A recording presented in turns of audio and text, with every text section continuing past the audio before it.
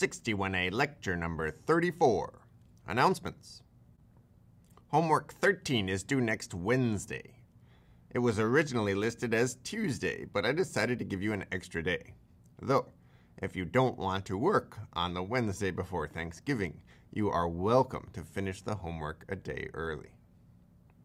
There will be no lab section next week on Tuesday or Wednesday.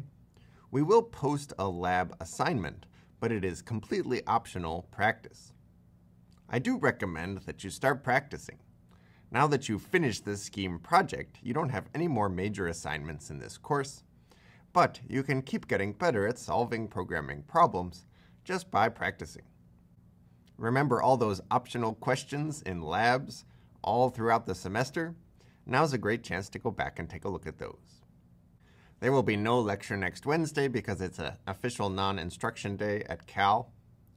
And the only assignment that you'll have over Thanksgiving break is the completely optional Scheme Recursive Art Contest due the Monday that you return. Congratulations on finishing the Scheme project.